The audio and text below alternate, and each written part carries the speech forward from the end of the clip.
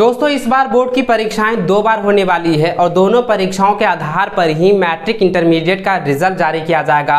यह परीक्षाएँ कब लिया जाएगा? यानी कि दो टर्म में आप लोगों का जो एग्ज़ाम होने वाला है, फ़र्स्ट टर्म कब से लिया जाएगा और क्या पैटर्न होगा? सेकेंड टर्म एग्ज़ाम कब होने वाला है? क्या पैटर्न होगा? इस वीडियो में सारी जानकारी आप लोगों को बताऊँगा। इसलिए दोस्तों, आप इस वीडियो को पूरा अंत तक देखेंगे। दोस्तों, सभी विद्यार्थियों का स्वागत है आपके अपने channel ABC coaching YouTube channel में। दोस्तों, जितने भी विद्यार्थी झारखंड बोर्ड के आगामी, यानी कि 2022 में बोर्ड की परीक्षा में शामिल होने वाले हैं। खास करके मैट्रिक इंटरमीडिएट के विद्यार्थी इस वीडियो को पूरा अंत तक देखेंगे। इस वीडियो में सारी जानकारी आप लोगों को देने वाला हूँ कि 75 जो सिलेबस आप लोगों का है, उसमें किस तरीके से जो है आप लोगों का एग्ज़ाम फ़र्स्ट टर्म में लिया जाएगा और सेकेंड टर्म में लिया जाएगा, सिलेबस को किस तरीके से बांटा गया है, इस वीडियो में सारी जानकारी आप लोगों को मिलेगी, ठीक है? तो दोस्तों, आप इस वीडियो को पूरा अंत तक देखना और दोस्तों, आप चैनल पर पहली बार आए हैं तो चैनल को सब्सक्राइब कर बेलाइकन को ऑन कर ज़रूर कर लीजिएगा ताकि लेटेस्ट वीडियो की नोटिफिकेशन जो है सबसे पहले आपको मिल सके। मेरी बातों को आप लोगों को ध्यानपूर्वक सुनना है, ठीक है? देखो, इसमें क्या लिखा है? लिखा है कि अर्धवार्षिक नवंबर दिसंबर में और वार्षिक परीक्षा मार्च में होगी। यानी कि अर्धवार्षिक के रूप में फ़र्स्ट टर्म एग्ज़ाम जो है नवंबर दिसंबर में लिया जाएगा और सेकेंड टर्म एग्ज़ाम वार्षिक परीक्षा के रूप में मार्च महीने में लिया जाएगा। और दोनों परीक्षा आप सभी के लिए काफ़ी इंपॉर्टेंट होने वाली है। अगर मान के चले दोस्तों, कोविड की तीसरी लहर के कारण सेकेंड टर्म का एग्ज़ाम अगर नहीं हो पाता है तो फ़र्स्ट टर्म और आपका जो टेस्ट लिया जाएगा, उसके आधार पर आप लोगों का रिज़ल्ट जो है प्रकाशित होने वाला है, ठीक है? जो कि बहुत बड़ी इंपॉर्टेंट आप सभी के लिए है। देखो, यहाँ पे क्या लिखा है? लिखा है कि दोनों परीक्षाओं के आधार पर जारी होगा मैट्रिक और इंटरमीडिएट का रिज़ल्ट यानी कि दोनों टर्म का जो एग्ज़ाम्स होगा, उनके ही आकलन के बाद, उनका ही मूल्यांकन के बाद मैट्रिक इंटरमीडिएट का रिज़ल्ट जारी किया जाएगा। देखो, आगे लिखा है कि अब तक की तैयारी के अनुसार मैट्रिक और इंटरमीडिएट परीक्षा 2022 का परिणाम इन दोनों परीक्षाओं के आधार पर ही होगा।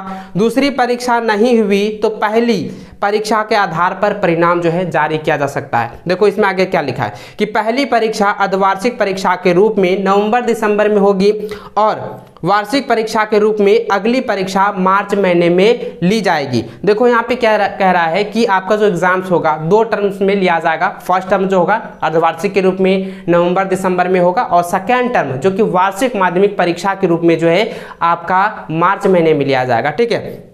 देखो, आगे लिखा है कि सिलेबस को भी इसी के रूप में दो भागों में बांटा गया है। दोस्तों, मैंने आपको पहले भी बताया था कि 25 परसेंट सिलेबस रिड्यूज हुआ है। 75 परसेंट सिलेबस आप लोगों को पढ़ना है कवर करना है और उसके आधार पर दो टर्म में आपका एग्ज़ाम्स होगा। सिलेबस को भी दो भागों में बांटा गया है। इसका भी वीडियो आने वाली है, इसलिए आप चैनल को सब्सक्राइब नहीं किए तो चैनल को सब्सक्राइब करके रखना। साथ में बेलाइकन को ऑन कर लीजिएगा ताकि जैसे ही नई वीडियो आती है, आप लोगों को नोटिफिकेशन मिल सके, ठीक है? देखो, इसमें आगे क्या लिखा है? लिखा है कि पहली परीक्षा में आधे भाग के सिलेबस से प्रश्न पूछे जाएँगे, जबकि दूसरी परीक्षा में शेष भाग से सवाल जो है पूछे जाएँगे। सिलेबस जो दो खंड में बांटा गया है 75 परसेंट।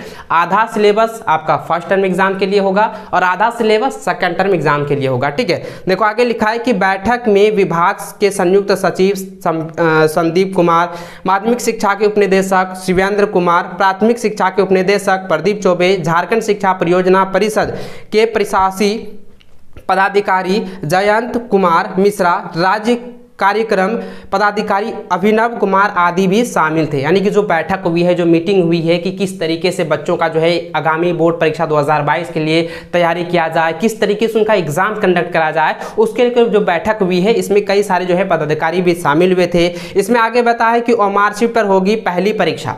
यानी कि फ़र्स्ट टर्म एग्ज़ाम नवंबर दिसंबर का जो होगा, वो मार्कशीट पर होगा। ऑब्जेक्टिव सवाल उसमें दिए जाएँगे। दूसरी परीक्षा जो है आपका ऑब्जेक्टिव और सब्जेक्टिव और आपका लॉन्ग टाइप का आंसर शॉर्ट टाइप का आंसर सभी को जो है मिलाकर पूछा जाएगा। देखो, इसमें ध्यान पूर्वक सुनना है, आप लोगों के लिए काफ़ी इंपॉर्टेंट यहाँ पॉइंट्स बताया गया है। लिखा है कि मार्कशीट पर पहली परीक्षा होगी, दूसरी में लागू होगा पारंपरिक पैटर्न नवी से बारहवीं की परीक्षाएँ ऑफलाइन लिया जाएगा। नवी से बारहवीं का जो एग्ज़ाम्स होगा, वो सभी एग्ज़ाम जो है ऑफलाइन ही लिया जाएगा, स्कूल स्तर पर लिया जाएगा।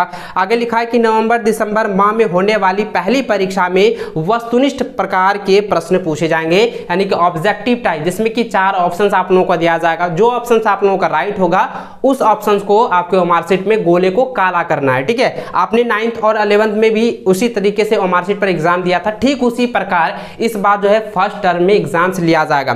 देखो, आगे लिखा है, यहाँ पे बताया गया है कि विद्यार्थी मार्कशीट पर उसका जवाब देंगे प्रश्न पत्र झारखंड अकेडमिक काउंसिल द्वारा तैयार किया जाएगा। विद्यार्थी अपने स्कूल में ही परीक्षा देंगे। यानी कि फ़र्स्ट टर्म जो एग्ज़ाम्स होगा, वो आपके स्कूल स्तर पर ही होगा। स्कूल में ही आप लोगों का एग्ज़ाम्स लिया जाएगा।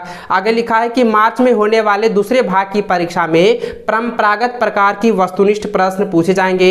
यह परीक्षा भी जैक द्वारा ली जाएगी। यानी कि जो परीक्षाएँ सेकेंड टर्म होगा, वो भी जैक ही कंडक्ट कराएगी।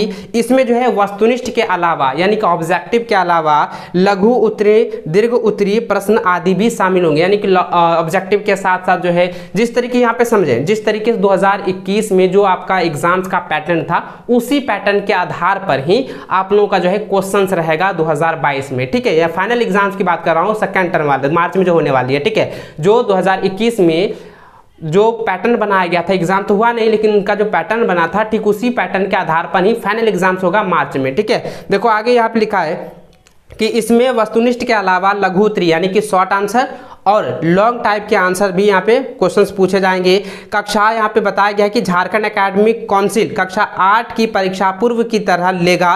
साथ ही सरकारी स्कूलों में कक्षा तीन से बारहवीं तक की प्रत्येक माह होने वाली मूल्यांकन परीक्षा भी जारी रहेगी। यानी कि दोस्तों, मैं आपको बता देना चाहूँगा कि कक्षा एक से लेकर एट तक। ठीक है, ध्यान दीजिएगा कक्षा एक से लेकर आठ तक जो एग्ज़ाम्स होने वाला है, सभी जो है मार्कशीट पर ही एग्ज़ाम्स होगा, सभी पे जो है वस्तुनिष्ठ सवाल पूछे जाएँगे। और नाइन्थ से लेकर ट्वेल्थ तक का जो फ़र्स्ट टर्म एग्ज़ाम्स होगा, आप लोगों को पता होगा कि दो बार एग्ज़ाम्स बार होने वाला है बोर्ड परीक्षा। फ़र्स्ट टर्म जो एग्ज़ाम्स होगा, वो आपका वस्तुनिष्ठ रहेगा, और सेकेंड टर्म में जो है वस्तुनिष्ठ के अलावा दीर्घ उत्तरी, लघु उत्तरी प्रश्न भी पूछे जाएँगे, जो कि आप सभी जाना बहुत ही इंपॉर्टेंट है। और दोस्तों नेक्स्ट वीडियो आने वाली है, जिसमें मैंने ये बताया है कि फ़र्स्ट टर्म एग्ज़ाम में कौन कौन से सब्जेक्ट की कौन कौन से चैप्टर से क्वेश्चन पूछे जाएँगे और सेकंड टर्म में कौन कौन से चैप्टर से कौन कौन से जो है जो है सवाल पूछे जाएँगे। सारी चीज़ें उस वीडियो में भी क्लियर करके मैं बता दिया हूँ तो आप उस वीडियो को भी ज़रूर देख लीजिएगा। और दोस्तों चैनल पर पहली बार है चैनल को सब्सक्राइब कर बेलाइकन को ऑन कर लीजिए, ताकि लेटेस्ट वीडियो की नोटिफिकेशन सबसे पहले आपको मिल सके। चलिए दोस्तों, मिलते हैं नेक्स्ट वीडियो में, तब तक जय हिंद, वंदे मातरम।